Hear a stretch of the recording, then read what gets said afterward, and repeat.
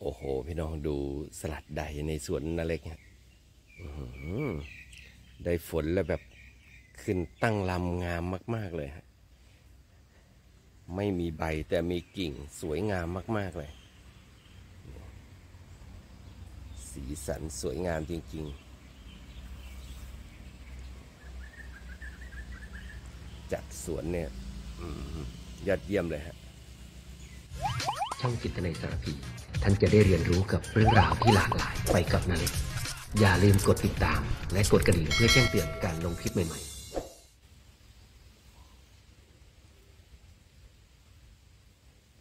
สวัสดีครับเช้าเช้าๆก็บรรยากาศสบายๆกับนาเล็กอีกแล้วอยู่กับธรรมชาติอยู่กับสวนเนี่ยมุมกาแฟถือว่าหลากหลายมาก ๆ นะนี่แหละ การที่เราใช้สิ่งที่อยู่รอบๆตัวเราเนี่ยให้เกิดประโยชน์ในการที่จะเอามาใช้นะไม่จำเป็นต้องไปไกลฮะอยู่ใกล้ๆก็มีสิ่งแวดล้อมที่สวยงาม มีธรรมชาติสวยงาม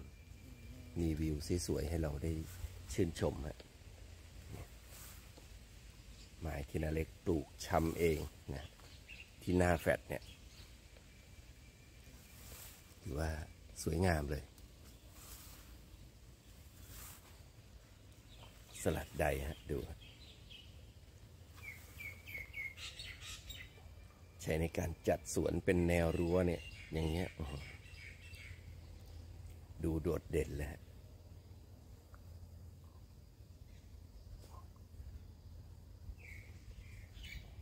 ชอบอะมันแตกกิ่งก้านสาขาเห็นไหม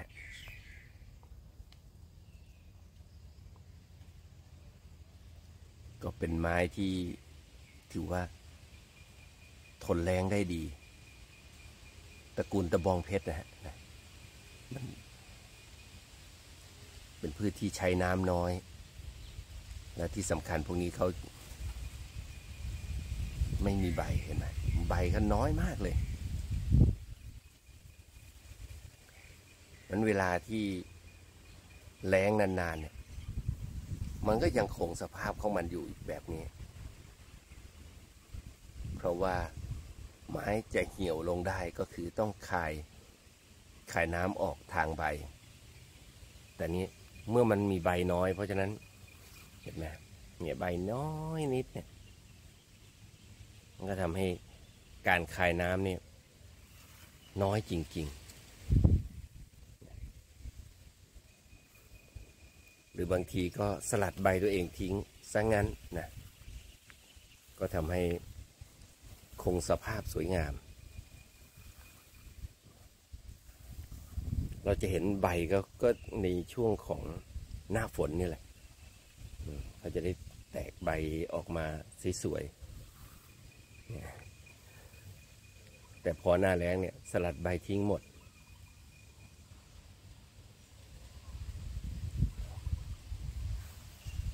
ก็ถือว่าเป็นไม้ที่น่าปลูก ปลูกง่ายเลี้ยงง่ายสำหรับคนที่มองหาไม้จัดสวนนะ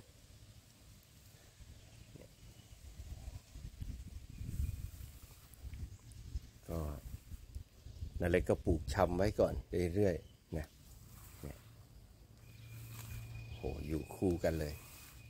อันนี้ฟ้าทลายโจรอยากเกิดก็ปล่อยให้เกิดนะ เราไม่ว่ากัน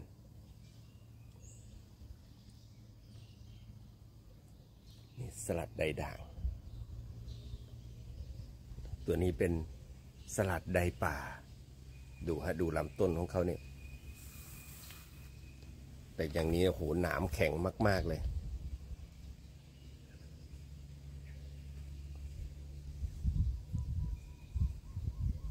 ต้นนี้อายุหลายปี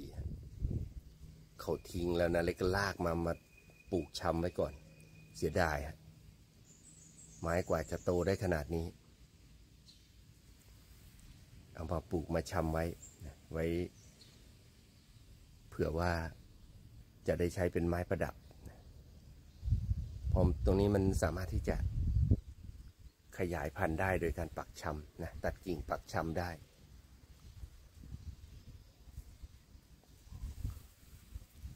มีของไว้ก่อนฮะไม่ต้องกลัว เราสามารถที่จะจัดการได้ แต่ถ้าไม่มีเนี่ย อยากจะได้อะไรมันก็นึกไม่ออกนะมันต้องวิ่งหาซื้อ หาซื้อเดี๋ยวนี้ไม่ใช่ว่า ราคาถูกๆนะของใหญ่ ๆ แบบนี้โอ้โห ราคายิ่งแพง การขนส่งก็แพง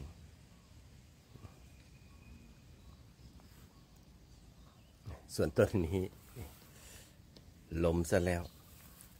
นะต้นพญาไร้ใบ ไม้ตระกูลไร้ใบเหมือนกันเนี่ยนำมาปลูกไว้หน้าสวน รอเขาตัดแต่งสวนจะรกนิดหนึ่งนะรอคนสวนเนี่ยพญาไร้ใบเนี่ยมันตั้งมันขุดหลุมแม่มันดินมันแข็งมากนะฮะนาเล็กก็เลยใช้มัดไม้ปักคู่ แต่ไม้ก็เอาไม่อยู่ เพราะไม้ผุปลวกเล่นงานนะก็เลยล้มเอ็นไปนะเราก็อาศัยไม้เอ็นนี่แหละนะให้มันพิงกับผนังตึกเนี่ย เดี๋ยวมันก็จะตั้งกิ่งของมันจะตั้งกิ่งขึ้นใหม่นะก็สวยงามไปอีกแบบหนึ่ง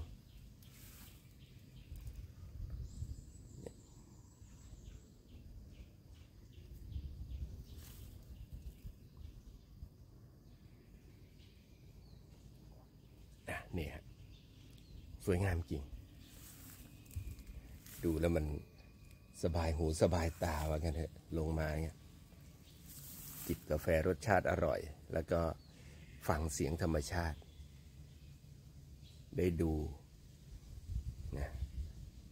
ไม้สวยๆได้สัมผัสลมเย็นๆนี่แหละหูตาจมูกลิ้นกายใจ โอ้โหนะ ทำให้เราสดชื่นสบายสบายตัวสบายใจว่างั้นเถอะก็หลายคนเมื่อวานนะเป็นวันแม่ ก็มีความสุขกับแม่ๆทั้งหลายเพราะทุกวันนี้ยยุคโซเชียลเราให้เห็นโอ้ความรักในแต่ละครอบครัวเนี่ยน่ารักกันทั้งนั้นเลยไหว้แม่นะด้วยดอก มะลิพาแม่ไปทานข้าว พาแม่ไปช้อปปิ้งนะกินข้าวกับแม่ โอ้โหนะเป็นวันครอบครัวที่ถือว่าอบอุ่นนะนาเล็กไม่มีแม่แล้วนะแม่ไปอยู่บนสวรรค์แล้ว แต่ว่าเราก็ยังได้สื่อสารกับพี่ๆน้องๆเรานะไม่ได้ไปหาแต่ว่าสื่อสารกันทางโซเชียลเราก็มีความสุขนะนี่แหละ ทุกวันเนี่ยมันก็เปลี่ยนแปลงไปตามวิวัฒนาการของเทคโนโลยีต่างๆ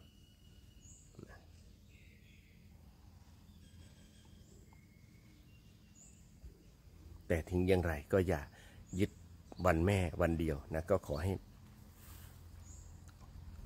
มีแม่อยู่ในใจทุกวันนะระลึกถึงท่านเสมอ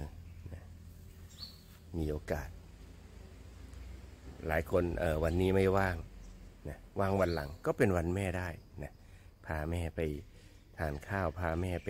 เที่ยวพาแม่ไปช้อปปิ้งนะทำกับข้าวให้แม่กิน หรือไปกินกับข้าว ฝีมือแม่อืไม่ใช่ว่า แม่จะลำบากนะแม่มีความสุขนะที่ลูกกลับมากินข้าวฝีมือแม่ นี่แหละ หลายๆ คนเนี่ยเชื่อรสชาติอาหารครั้งแรกที่พวกเราได้สัมผัส มันจะอยู่ในใจเสมอ กินแล้วมันจะรู้สึกว่าอร่อยมาก ๆ กินแล้วมีความสุขเนี่ยเหมือนนาเล็กเนี่ย แม่จะทำน้ำพริกแมงดาให้ทุกครั้งเลยที่กลับบ้าน แม่จะไปช้อน แมงดากลางทุ่งนา หรือว่ามีแมงดาก็จะเก็บไว้ให้นะถ้าบอกว่าลูกชายจะกลับบ้านโอ้แม่จะตำน้ำพริก ฝีมือแม่ สุดยอด เดี๋ยวนี้น้ำพริกแมงดามีขายกันเยอะแยะแต่นั้นเล็กไม่เคยซื้อกินนะเพราะว่าไม่ได้มีความสุขตรงนั้น มีความสุขที่ได้กินฝีมือแม่ แต่เดี๋ยวนี้กลับบ้าน ได้กินฝีมือพี่สาว โอ้ มีความสุข เหมือนได้กินกับฝีมือแม่จริง ๆ เลย นี่แหละ แม่ส่งถ่ายทอดวิทยายุทธให้พี่สาวนี่แหละ เราก็เลยมีความรักความผูกพันในครอบครัวทุกครั้งเลย กลับบ้านเราจะกินข้าวด้วยกันนะรวม ญาติกัน ทุกครั้งที่นาเล็กกลับนี่แหละความสุขของเรานะไม่จำเป็นที่จะต้องเป็นวันแม่วันเดียว ทุกครั้งที่มีโอกาสได้ออยู่รวมตัวกัน เราก็นะสังสรรค์กันแบบพี่ๆน้องๆ ครอบครัวนะมีความสุขนะก็ฝากไว้ด้วยนะนะสำหรับทุกๆคนที่เข้ามาฟังช่องนาเล็กนะฮะเข้ามาเยี่ยมชมอะครับผมสำหรับ เช้านี้ก็จิบกาแฟกันยามเช้าชมสวนนะแล้วก็คุยกันเรื่องราวของวันแม่ครับผมสำหรับคลิปนี้ก็ฝากไว้เพียงเท่านี้ครับผม สวัสดีครับ